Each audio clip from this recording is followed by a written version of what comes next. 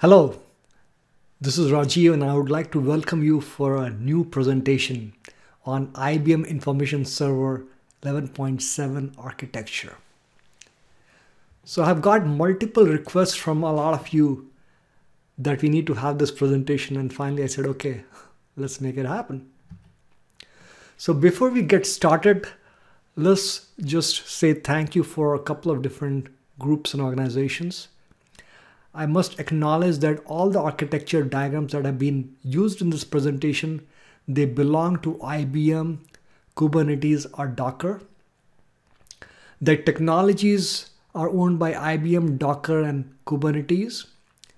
And PR3 Systems is in the business of training, consulting and reselling IBM information server software. And we are very grateful to IBM and its employees who have really helped us to serve the community in the best possible way. So let's get started. So what is the difference between 11.7 and 11.5? So there are a lot of differences and on IBM site, there's a full list. But for a person like us who has been using information server for the past 10 to 15 years, the biggest change that I saw was the introduction of a completely new component called Information Server Enterprise Search. And this component resides on a different server and it's based upon new technologies called Docker and Kubernetes that we'll be talking about in this presentation. Then we also have new enhanced interfaces for information governance. So there's a new information governance catalog and in a new information governance monitor user interface which did not exist in 11.5. Then there's also a data stage flow designer. It's web-based ETL. And so that has got some of the features of data stage thick client. And talking to product management looks like they will be moving some more functionality to the web-based ETL tool in the coming releases. And there are more connectivity options.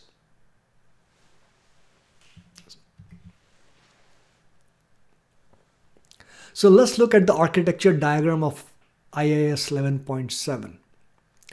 So at the top, as you can see that you've got different user interfaces so the analysis interface is analysis interface for information analyzer thick client, also known as the workbench. And the development interface is for data stage and quality stage client. And the web administrative interface is for the web console and also for all the web-based clients like which are IMAM, which is information metadata asset manager, information analyzer, thin client, then data quality console. So there are a lot of options like that. Now they use a lot of services like the metadata services, the unified service deployment, security services, and logging and reporting services. All of these are provided by the WebSphere application server. Then as we go down further, we've got unified parallel processing. Information server has got a dynamic parallel processing engine in which the degree of parallel processing, whether you have got four sets of parallel processors or 10 sets of parallel processors that can change at runtime. So if you design a job in a symmetric multiprocessing system, you can run it in a clustered environment just by changing the configuration file. And that's pretty powerful. And then the box on the right of it is the unified metadata, which gives us all the metadata management capabilities. So it, you could have the metadata that is defined at design time, what kind of columns you have, what are the data types. You can also have dynamic metadata.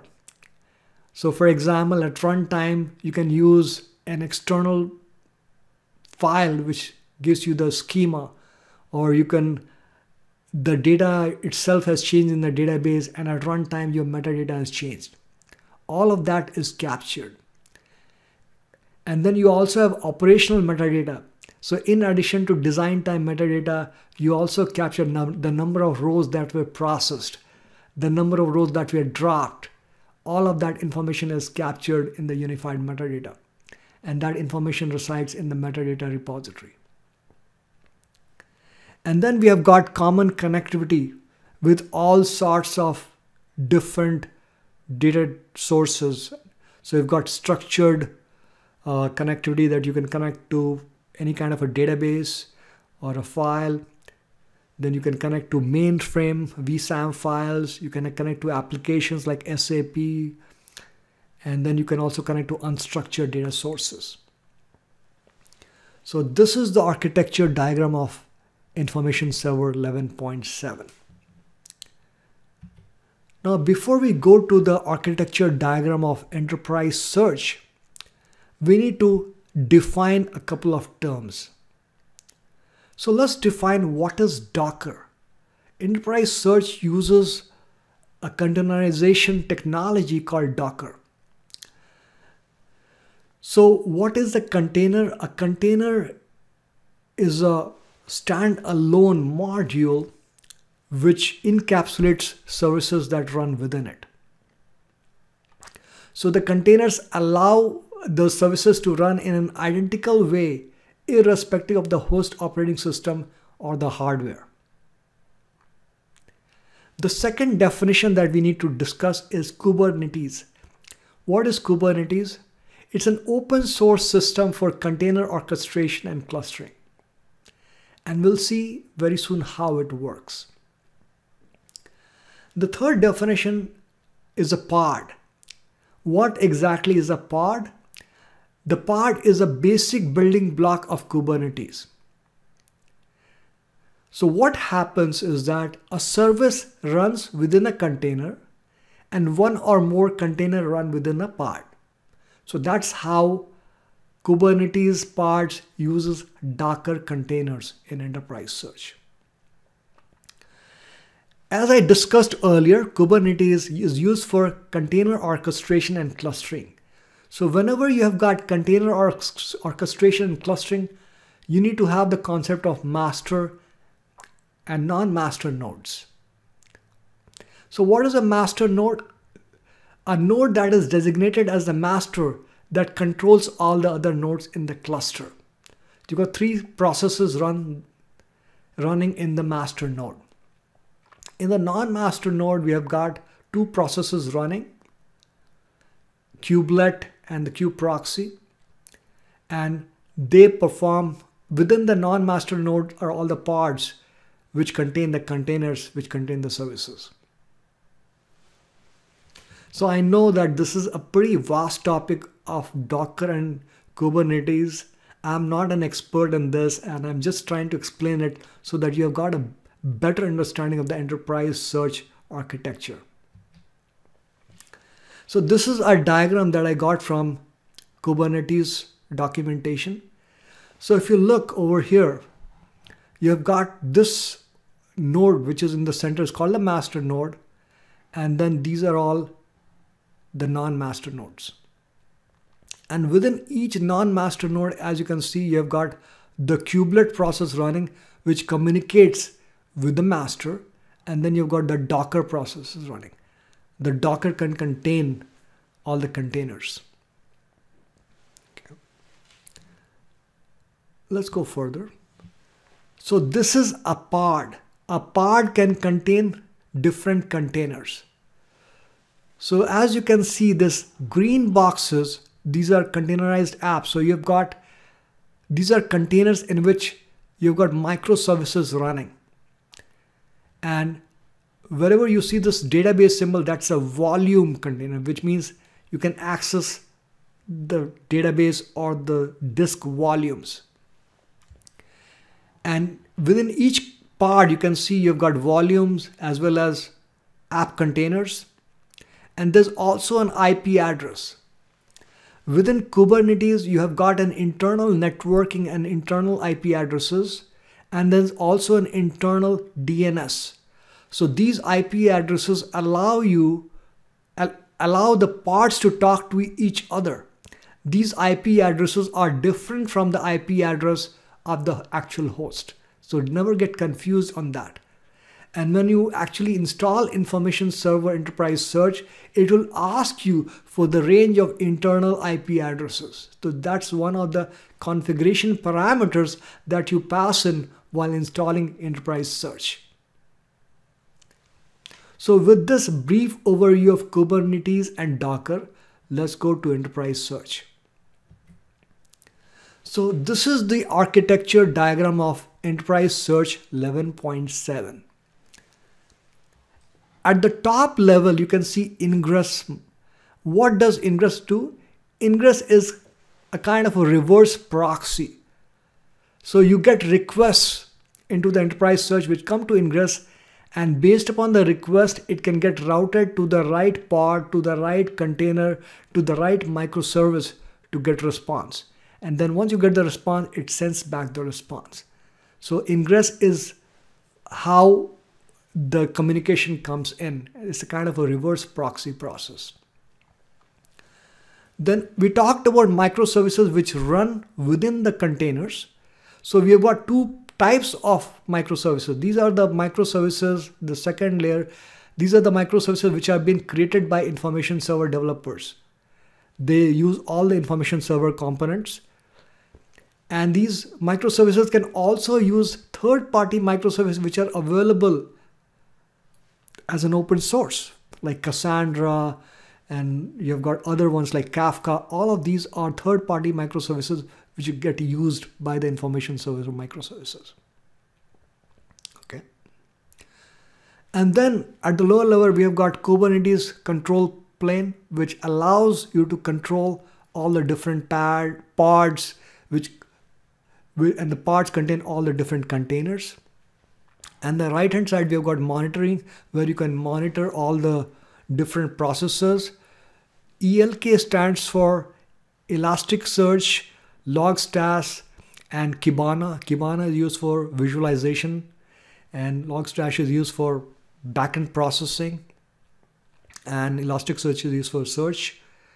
And then you've got cluster storage, which allows you to connect to all the volume. All the storage is managed by the cluster storage. And I was talking about those IP addresses which are internal. That is done in the cluster networking box over here. And they all use the Docker containers, which are at the lower level, and the Docker containers reside on the operating system. So this is a broad overview of Enterprise Search 11.7 architecture. I know that this is very brief and it might not become it might not be very clear by now, so we have got two more slides to make it even more clearer for you. And I hope that by the time the presentation ends, you do have a clear understanding of the architecture diagram of Enterprise Search 11.7. So let's look at this diagram. As I said earlier, your request comes into Ingress, which is a reverse proxy, and the request can either go to the core information services interfaces and services, or it can go to enterprise search. So these are two different sets of services. The enterprise search interfaces, they reside on the enterprise search host, which is a different machine than the services host. Services host is where the information server is running and the enterprise search host is where the enterprise search processes are running. They both use the same metadata repository database which is running on the host where the repository is based out and both of these interfaces and services they use some shared services which are residing on the enterprise search host. So for example your cassandra kafka that can be used by both of them. Okay. Now this is the third architecture diagram. Now what does this diagram talk about? Let's go in detail.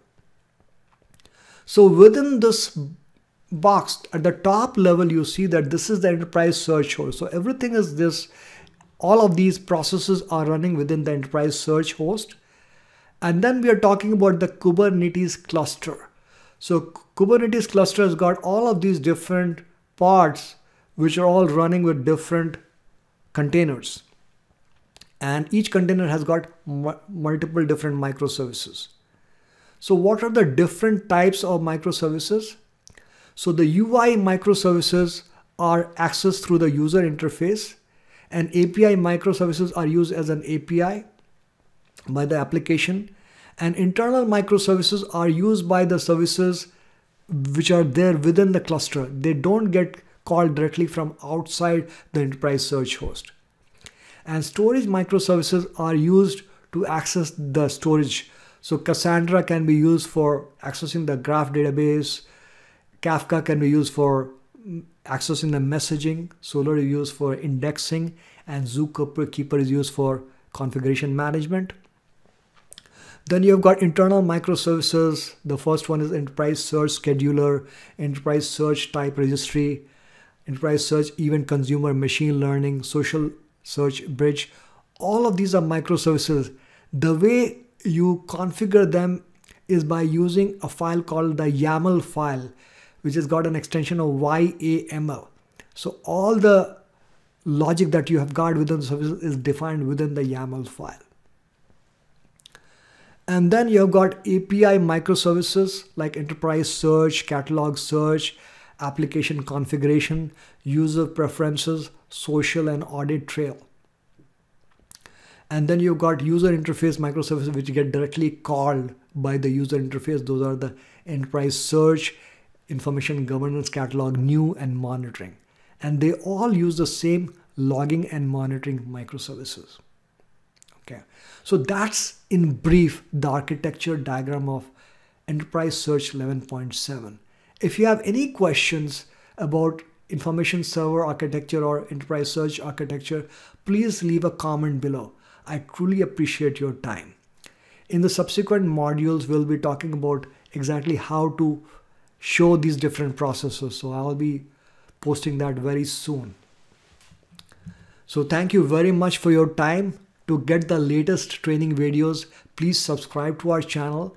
And we have just created a brand new course for data governance called the Data Governance Accelerator.